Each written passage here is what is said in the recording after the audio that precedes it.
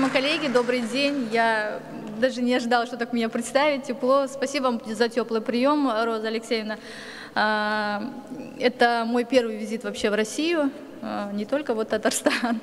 Поэтому э, я очень рада, что сегодня нахожусь здесь, и сегодня выпала такая большая честь выступить перед вами, рассказать немного о тех курсах, которые проводит э, университет а, я буду выступать на русском языке, с вашего позволения, а все слайды на английском языке, поэтому переводчикам будет легче и коллегам будет более понятнее, о чем идет речь. Да? А, меня зовут Айгуль, а, я работаю в Высшей школе образования Назарбаев университета, именно в Департаменте дополнительного образования, кто непосредственно занимается повышением повышение квалификации а, работников э, системы образования. Мы с 2014 года проводим курсы для лидеров в высшем образовании. Вот мы, мы ездили к вам в гости, и э, тогда я представляла по э, курсу повышения квалификации для руководителей вузов. Сегодня я хочу рассказать немного о курсе повышения квалификации для учителей школ. А, значит, тема моего доклада, сегодняшней презентации – это роль профессиональной подготовки школьных учителей в контексте эм, контексте трехязычного образования в Республике Казахстан. А, значит, э, план э, презентации таков. Я немного э, расскажу о политике трехязычного образования в Казахстане, потом немного подробнее остановлюсь непосредственно на курсах повышения квалификации для учителей школ по четырем предметам. Это химия, биология, физика, информатика. И расскажу уже в завершении о том, как мы провели внутреннюю оценку эффективности данных курсов и какие получили результаты. Нас интересовало именно, как учителя после того, того, как пройдут курсы, у себя на местах внедрять это все на практике. И второй вопрос, который нас э, ну, волновал, скажем так, что как, с какими трудностями сталкивается учитель при внедрении вот э, э данной ну, реформы, скажу, не побоюсь сказать это слово. А, не получается. Угу.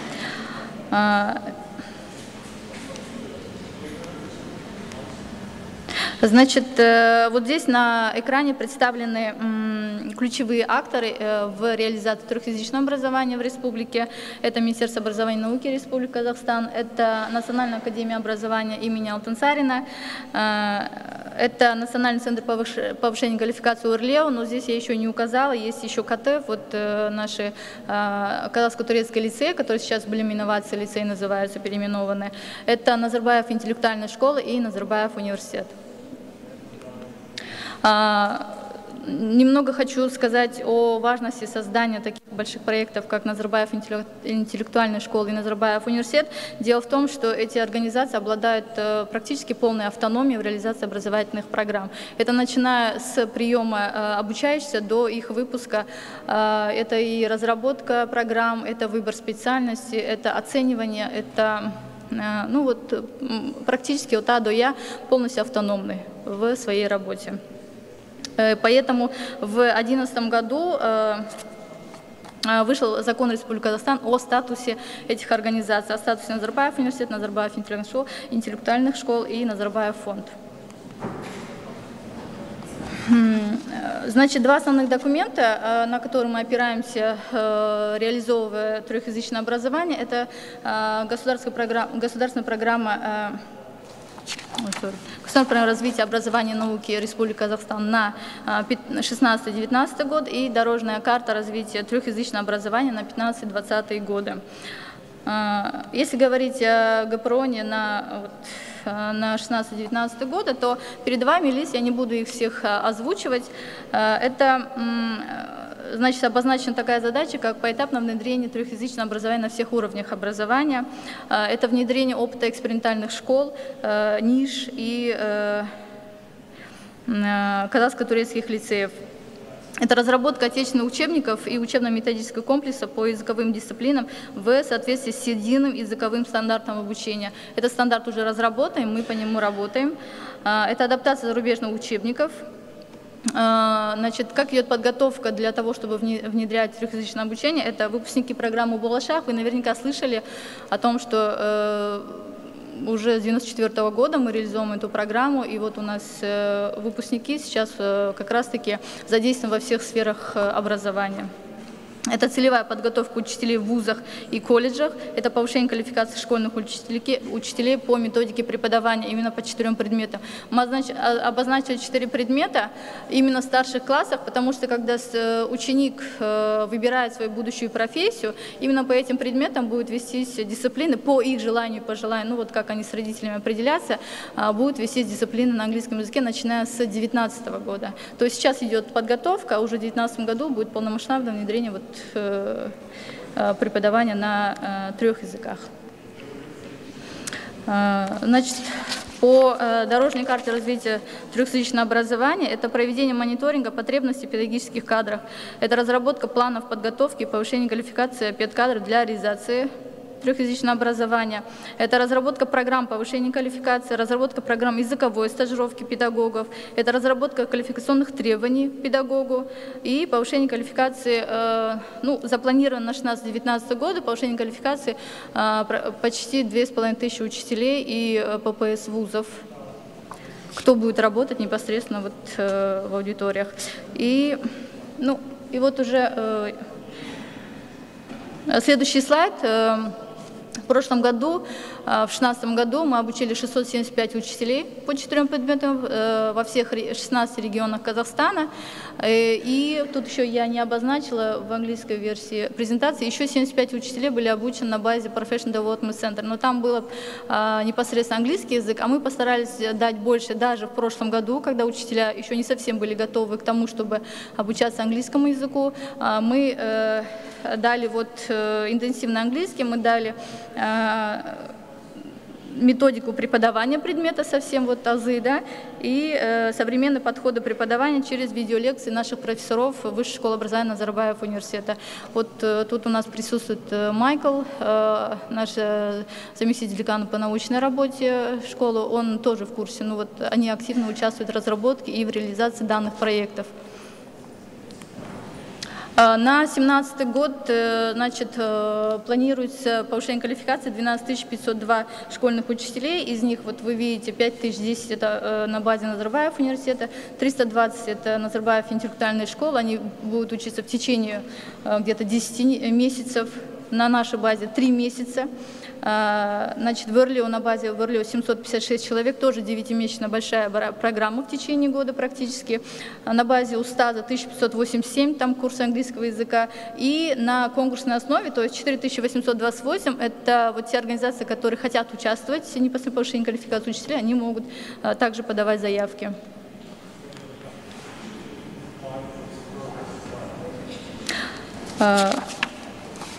Цели задачи программы. Цель программы – это совершенствование уровня владения английским языком педагогических кадров средних обще, общеобразовательных школ. Задача программы – это обучение английскому языку согласно э, общеевропейским критериям определения уровня владения иностранным языком, развитие коммуникативной компетенции, обучение педагогических кадров естественно-математическое направление, академическому английскому языку и предметной терминологии, обучение основам методики преподавания предмета на английском языке. Э, следующий слайд. Э, на следующем слайде вы видите структуру программы, значит, э, мы ее э, составили так. Она состоит, в прошлом году она состояла из четырех модулей, в четвертом модуле в этом году, к сожалению, нет, потому что у нас большее количество человек, в прошлом году было меньше. А, значит, ну, мы, учитывая недочеты, можно сказать, прошлого года, сделали немного структуру программы в этом году по-другому.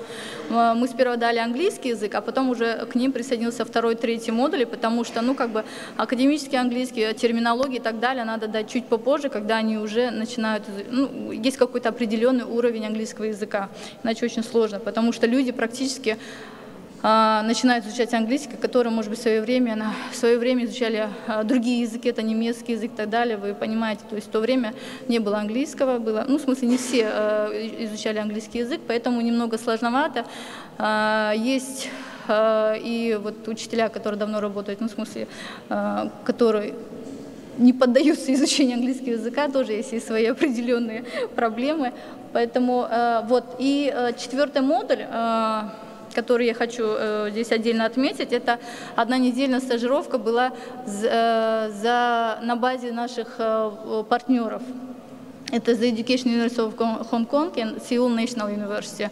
А, из 675 э, человек были отобраны 118 учителей, а, то есть те, которые, у которых есть уже довольно-таки э, хороший английский и которые действительно готовы работать вот в этом направлении. А, на конкурсной основе были отобраны, а также присутствовали все наши преподаватели в этом.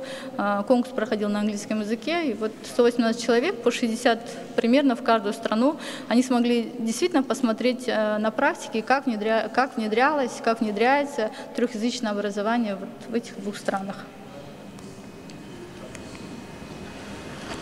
Значит, какие результаты мы э, поставили перед э, перед самими э, перед учителями, это владение английским языком на уровне, определенном общеевропейскими критериями, понимание необходимости оказания языковой поддержки учащимся, которые изучают предметы посредством английского языка, и знание и понимание предметной терминологии и академического языка. Это следующий слайд. Значит, ну, интенсивный тренинг по английскому языку, я не буду на этом останавливаться. Следующий модуль, это, э, это было содержание часть дисциплины на английском языке. Значит, э, что туда входило? Это изучение терминологии и усвоение предмета на английском языке, правильное произношение профессиональных терминов, сравнение содержательной части предмета отдельных тем, правильная э, формулировка задач на английском языке, структура вопроса, составление тестовых задач, практика восприятия на слух задач и ответов, разработка навыков, навыков оценивания. Далее, разработка учебного плана предмета, то есть каждый модуль, э, я отмечу этот момент, каждый модуль э, подразумевает определенную работу. Допустим, если первый модуль, значит мы его проверяем, насколько он хорошо уже может говорить. Да? Второй модуль – это составление учебного плана. А, то есть э, каждый учитель на выходе составляет учебный план, как он видит, как он будет уже преподавать, начиная вот, с, допустим, с нового учебного года кто-то готов, кто-то еще чуть попозже, уже пройдя следующие курсы повышения квалификации. А, третий модуль, результатом было написание эссе. То есть после всех лекций, которые он э, увидит, э, а, проанализирует, он должен написать одну э, эссе на одну определенную тему э, с указанием каких-то проблем, может быть, решений каких-то проблем и так далее. Это все э, анализируется, мы работаем, и результаты предоставляются Министерству образования и науки. Э, видеолекции. Вот тут некоторые темы, а, на какие темы проводим мы видеолекции. Это вот только часть, на самом деле их э, где-то 30-40 видеолекций. Я не буду это озвучивать, просто вот вы можете просмотреть. А, здесь я хочу отметить такой момент, что в проведении, вот, э, в записи видеолекции почему мы решили записать? Потому что учителей собрать, э, вот, оторвать от семьи на какое-то определенное вот, количество месяцев, даже не то что недель, очень сложно, поэтому приходится проводить на местах, а, с отрывом от производства, чтобы они полностью были погружены в учебный процесс. Поэтому были записаны видеолекции. Но после каждой видеолекции мы проводим определенную работу. То есть задаются вопросы, ведется работа в группах. На местах работают методисты, которые, ну, скажем так, меня заменяют на местах. И э, чтобы, чтобы не просто прослушали, а вот именно был, был фидбэк, чтобы вот каждая тема чем-то запомнилась, чем-то осталась у них проанализирована была. А, по э, зарубежному модулю здесь э, сразу немножко переход, резкий переход на результаты, то есть э, их мнение по зарубежному модулю, одна неделя, которая проходила у них, это приемы внедрения английского языка в изучении предметов естественно-математического цикла, организация процесса обучения в школах Гонконга. Да, вот они их мнение о третьем, четвертом модуле. А, узнали, что в Южной Корее создаются хорошие условия как для учителя, так и для ученика. Это и техническое оснащение, высокий статус педагога и меньше бумажной рутины, к сожалению, которая у нас присутствует. Система образования в Корее, э, предметно-ориентированное обучение,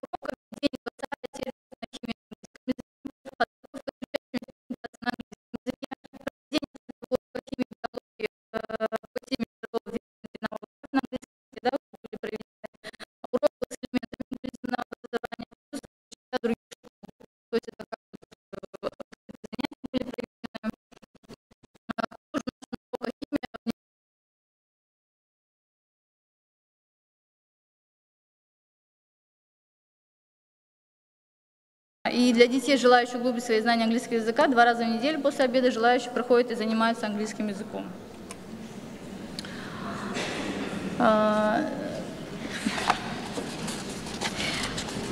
Для, для определения эффективности и дальнейшей работы в рамках э, таких курсов, вот непосредственно этого курса, мы создаем у себя в школе э, группы, э, группы людей, вот, которые будут заниматься именно научной составляющей этих курсов.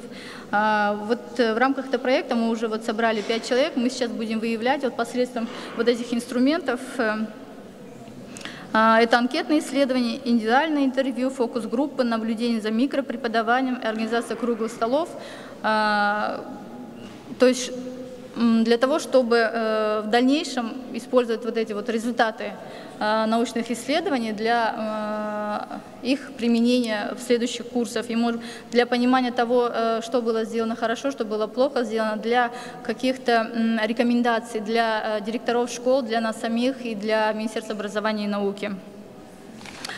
Э, значит, в ходе, вот уже мы провели э, анкетирование, онлайн-анкетирование среди 118 э, человек, которые участвовали в четвертом модуле, приняли участие в онлайн-анкете 86 человек. И вот что они говорят. А, значит, э, на такой вопрос, что нового вы увидели, узнали в ходе обучения по программе, они отвечают, использование методики КЛИЛ, представлена методика преподавания предметов естественно-математического цикла в рамках трехязычного образования, а, методические приемы, которые позволяют обеспечить понимание физики при, при преподавании на английском языке, повысили уровень знания английского языка, изучили по мере возможности содержательную часть дисциплин, терминологию, произношение и так далее. В ходе четвертого модуля познакомились с методикой обучения школьников по общеобразовательным предметам на английском языке в Корее, э, трансляцию опыта о стратегиях применяем на уроках при интегрировании с иностранным языком.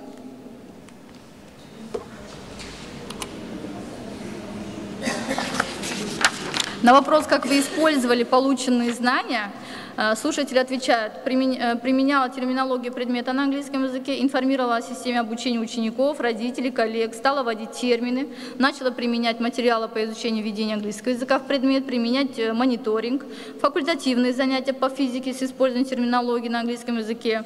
Благодаря данным курсам английского языка я подняла свой уровень с А2 на С1 на А2. На уроках биологии ученики, ученики завели дополнительные тетради словари куда они записывают э, терминологию. А, далее, по, на, на этот же вопрос. Да? На уроке применяется химическая программа чем Sketch, полностью на английском языке. Просматриваем видеоролики на иностранном языке, заполняем таблицы, схемы э, и подел, э, делится полученной информацией на районном метод совете. Ну и как-то так-то одно и то же. Значит, на вопрос, какие трудности возникали э, в ходе подготовки к занятиям, а, вот непосредственно когда проводят на английском языке, они отмечают, что им не хватает знания языка, неважное произношение, допустим, кто там стесняется, они вот пишут прям, что, э, что у меня с тем, что я вот э, перед учениками стыдно учителям еще вот произносить какие-то моменты, недостаточные языковые навыки, Недостаточные языковые навыки у учащихся – это тоже как бы одна из проблем, когда э, бывает ситуация, когда ученики лучше знают английский, чем учитель, а бывает, что учитель подготовлен, но класс, к сожалению, не тянет тот материал, который предоставляется на английском языке. Отсутствие учебников, пришлось копировать учебник, проект образовательного сайта, распечатывать частично. Да? А, учебник сейчас разрабатывается, и вот э, ну, к тому моменту, когда э, нужно будет уже внедрять полностью трехязычное образование, они подготавливаются в частично. Э, есть учебники, которые 20% на английском языке, есть, которые полностью составлены на английском языке. А, дальше. В учебниках сборника заданий не предусмотрены задания на английском языке. Это тоже вопрос решается. И нехватка времени на уроки, чтобы охватить и программный материал, и элементы английского языка. А, на следующий вопрос, вот э, какие компетенции вы хотели бы развить в дальнейшем, они отвечают. Значит, большая часть э, э, выделила э, курс методику внедрения трехязычного образования. Далее 63% от- э, выбрали современную систему оценивания академических достижений учащихся, э, информационно-коммуникационные технологии образования, методика развития критического мышления, организация прикладного педагогического исследования в классе. Э, Ну вот, э, вот такие вещи они хотят в дальнейшем изучать, это было полезно. Я думаю, что э, мы будем э, дальше работать над этими вопросами. Э, Вот здесь еще приведено несколько фотографий с их учебного процесса. С, это с прошлого года, когда 675 обучались. Вот они на занятиях, пишут уже на английском, на английском да. Э, Работа в группах ведется полностью на английском языке, преподавание полностью на английском языке. Вот вы видите, они уже рисуют, пишут вот, э, новые слова. Это, это уже посещение, по-моему, это в Гонконге обучение.